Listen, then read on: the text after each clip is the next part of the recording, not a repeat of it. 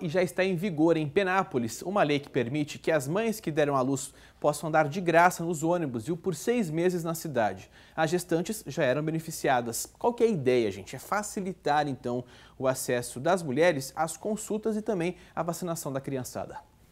Araçatuba, Birigui, Pereira Barreto e Ilha Solteira Todos possuem transporte coletivo, mas de forma terceirizada. Em Penápolis, cinco linhas com apenas sete veículos atendem mais de 50 mil passageiros.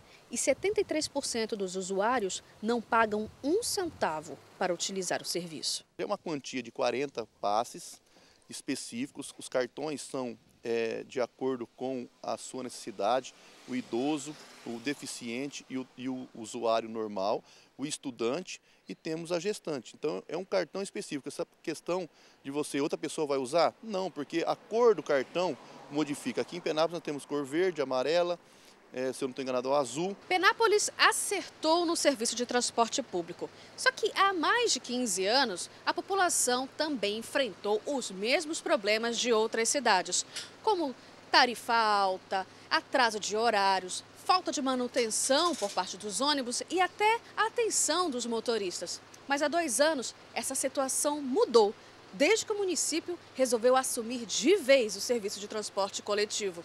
Resultado? ônibus melhores e um serviço onde a população aprova. Você entra, eles esperam você sentar no local certo. Os pontos eu não tenho o que reclamar. Para mim, Horário também sempre bate certo nos horários. A Alessandra faz parte do público beneficiado com a municipalização do serviço. Ela trabalha longe de casa e quando engravidou ia todos os dias de graça. E quando ela achou que ia perder o benefício, ficou surpresa ao saber que agora ela e todas as mães terão passe livre por mais seis meses após o nascimento do bebê. Depende de ônibus para quase tudo, né? Eu preciso de ônibus para levar ele no médico, para fazer exames, que nem tem vacina. Todo mês tem que levar ele para fazer vacina. Às vezes está muito frio. Após a gestação, o parto, o nascimento da criança, ela teria cessado o uso do transporte coletivo, porque a, a, a, agraciava só a gestante.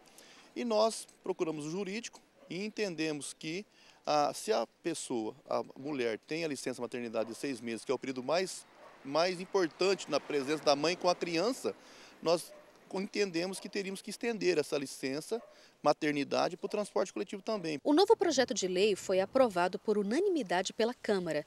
A contrapartida foi a criação de um fundo pago pela Prefeitura que vai viabilizar a manutenção dos ônibus e a compra de novos veículos. Devido à qualidade da equipe que foi montada para manter o serviço, os motoristas, e a gente tem manutenção, tem fundo específico do transporte coletivo para ter essa compra de peças. Então, assim, a gente consegue manter uma qualidade que poderia ser melhor ainda, se não fosse o momento atual, né? que prejudicou todas as prefeituras. Acho que todo, todo mundo está passando dificuldade. Né?